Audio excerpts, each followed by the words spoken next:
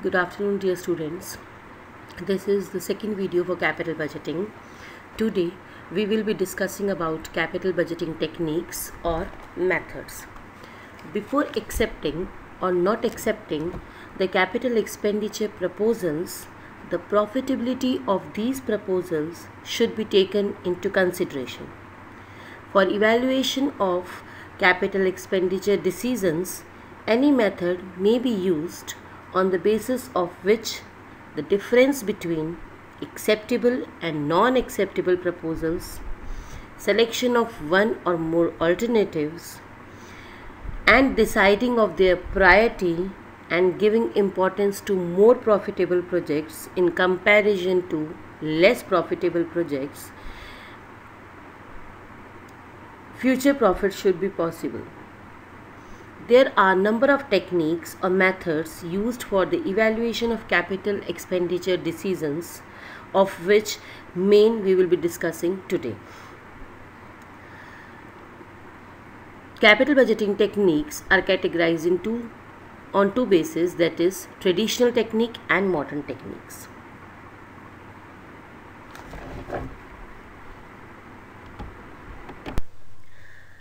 Now we will be discussing traditional method that is traditional techniques of capital budgeting. In traditional techniques, time factor is not considered. That means these traditional method available does not consider the time factor of cash inflows. It is quite important to know the present value of future cash inflows from different projects to make them comparable and this traditional method ignores the time value of money. This is the biggest disadvantage of these methods. That is payback period method and average rate of return method. Now we will discuss first method of traditional methods traditional techniques of capital budgeting that is payback period technique. This is the most easy method to be used for evaluation of capital expenditure this method is also called payout method. The period in which we get the invested amount back is called payback period. On the basis of net cash inflows, the payback period of investment is calculated. If in all the years the net cash inflow remains the same, then we can calculate payback period by this formula that is by dividing initial investment with net annual cash inflows. The decision rule for payback period is when a project is accepted if its payback period is less than the maximum payback period. That means if the maximum payback period that is set by top management is less than the payback period of the project then that project with less payback period will be selected. And suppose if the management has to choose one project between many available options then that project will be selected which have shortest payback period Next method under traditional technique is average rate of return method. This is also called as accounting method or return on investment or unadjusted rate of return method. In this method, rate of return on investment is calculated and time factor is not considered in this method. In this method, when the evaluation of different projects is done and one of them has to be selected, then the return on all the projects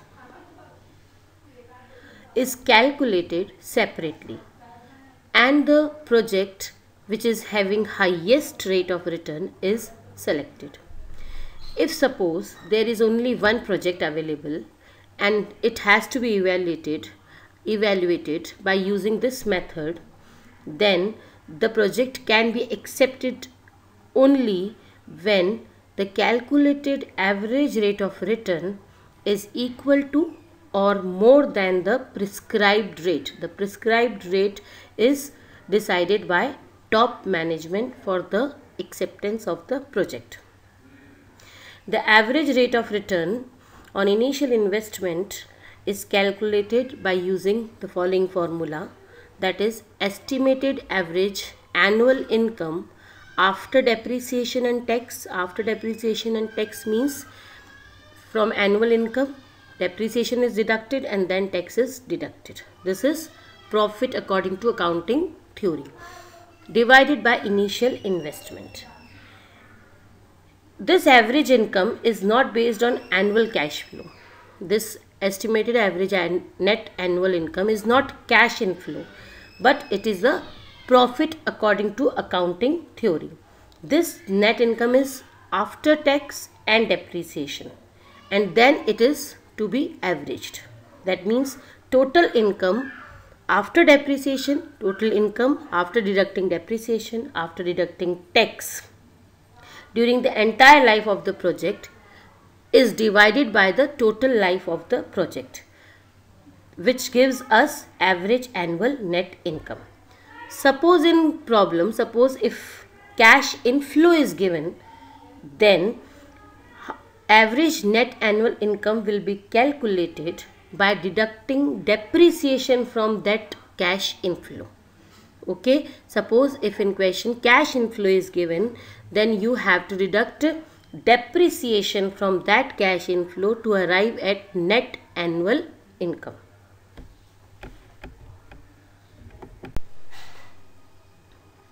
as we know that in payback period method more emphasis on cash inflows of initial years was given and no importance is given to income received in later years.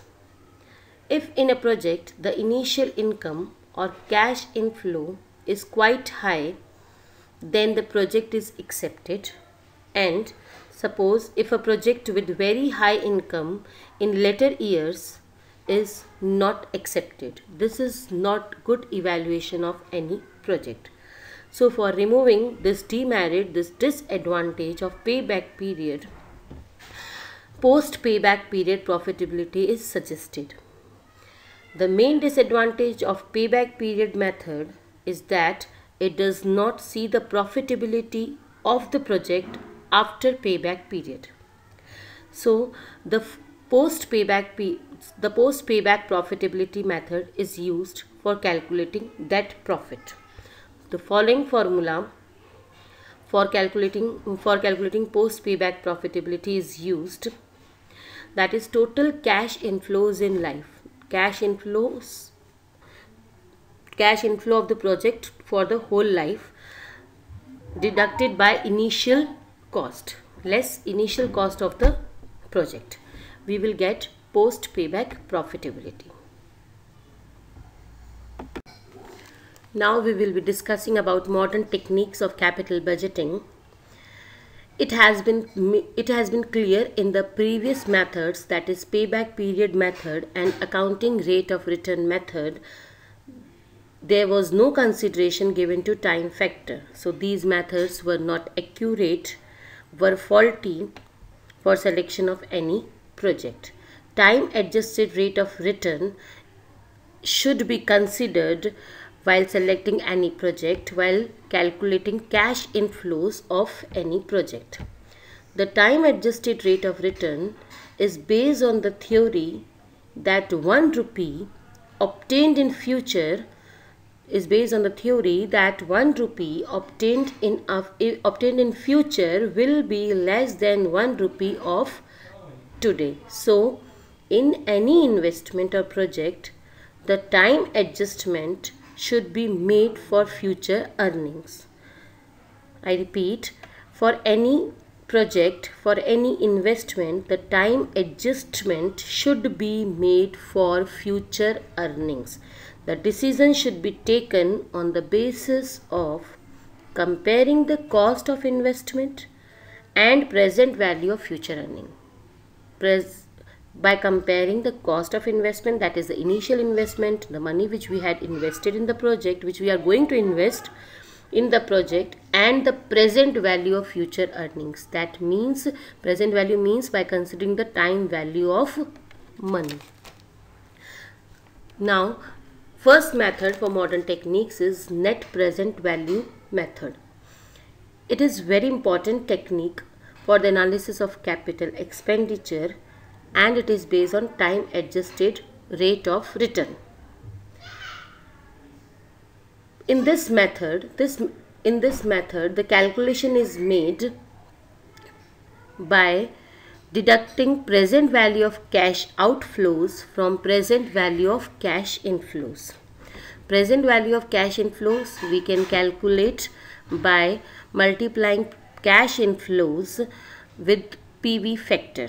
PV factor I had already taught you in Zoom in video class how to calculate PV factor and how to calculate present value of cash inflows. Present value of cash inflows calculated then less present value of cash outflows or we can say it is initial investment because initial investment made is made in beginning of the year that is in zero year and in zero year PV factor is always 1 so we can also say that it is present value NPV is present value of cash inflows that is to be calculated minus initial investment that is present value of cash outflows that is always to be multiplied by 1 because it is invested in the beginning of the year. Now this is a decision rule. Suppose if present value of cash inflow is equal to or more than initial investment Suppose it is cash inflows present value is 80,000. The addition came rupees 80,000 which is more than initial investment then the project will be accepted and if it is less than the initial investment then the project will be rejected suppose if we are having if we are having more than one project if we are having more than one alternative available then the project with highest NPV will be selected from the given alternatives. Another time adjusted method of evaluating the investment proposal is profitability index that is also known as benefit cost ratio. In profitability, profitability index is the ratio of the present value of cash inflows at the required rate of return to the initial cash outflow of the investment and the formula for calculating PI that is profitability index is equals to present value of cash inflows divided by present value of cash outflows. For deciding uh, which project is to be selected according to this method suppose if the PI is 1 or more if the result of PI calculation that is profitability index is 1 or more then the project is accepted and, and if the and if it is less than 1 the project is rejected. The third method based on the time adjusted rate of return is internal rate of return method. In present value method, that is in NPV method and profitability index method, the expected rate of return is already known. Rate of return is already given. We know the rate of return when we are when we were using NPV method and PI method. So the present value of future earning was easy to be calculated. In this method, rate of return is not known, but we have to find the rate of return. If we presume that we don't know the expected rate of return, then in such a condition, the future value of cash inflows, future value of cash inflows, that is PV of cash, future value of cash inflows, that means in future what we are going to receive, should be made equal to the present value of initial investment. This is the equation should be made equal to the present value of equation. For this purpose the rate used is called discounted cash flow rate that is internal rate of return which we are calculating. In this the decision is made for example if many projects have to be evaluated according to this method or by using this method then the project with highest IRR that is the project with highest internal rate of return is put at the first place second highest rate of return at second place and so on. Now computation of IRR.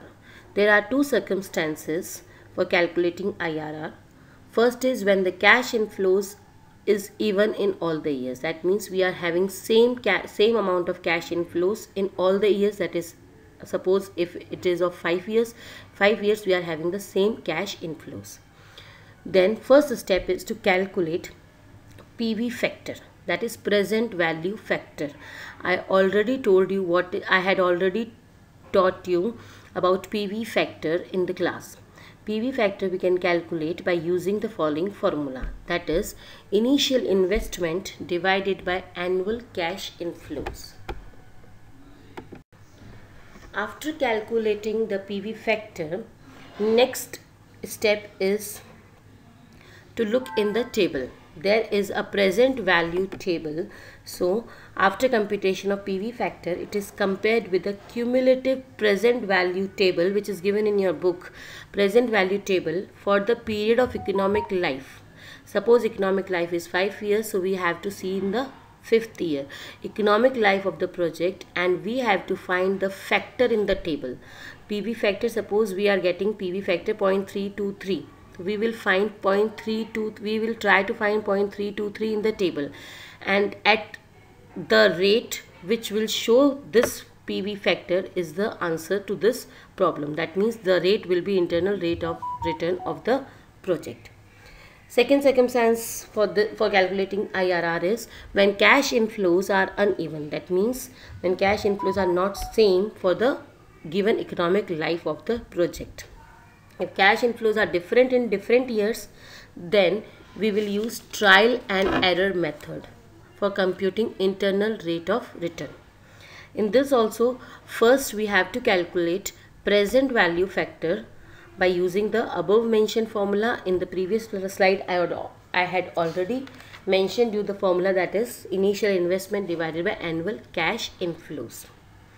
Then we'll try to find the internal rate of return in the table by using the PVF nearest PVF we will find in the table. Then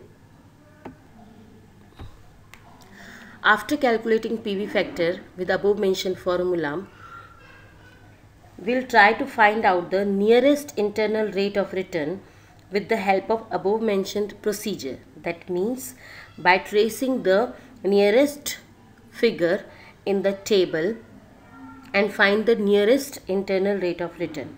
When we reach for nearest two internal rates, in between this there is an actual internal rate then with the help of the following formula we will find actual internal rate of return.